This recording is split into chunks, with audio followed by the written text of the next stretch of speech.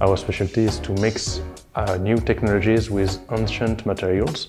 The main idea is to try to uh, mix artificial intelligence to study uh, old materials in order to uh, see if we can uh, increase the value of these documents and to allow people to access to these documents thanks to the artificial intelligence.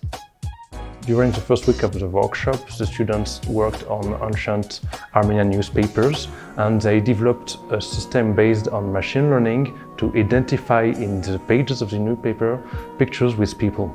On the second week, they focused on street views of Armenian streets, of streets of Yerevan, and they are trying to build an artificial intelligence able to detect cars, advertisement, people in the street. Children are completely free to train their own model and they annotate their own data set and they choose all the parameters they want. Աշխատեցինք live կամերայով, այստեղ կարող ենք տեսնել, որ հիմա արհեստական բանականությունը ճանաչեց այս նկարում եղած բոլոր մարդկանց։ We have been welcomed by the Fundamental Scientific Library of the National Library of Armenia. The library showed us their books and archives uh, to show us uh, what are their needs in terms of technologies to make all of these archives and documents, which are amazing, to make them uh, more accessible through the technology.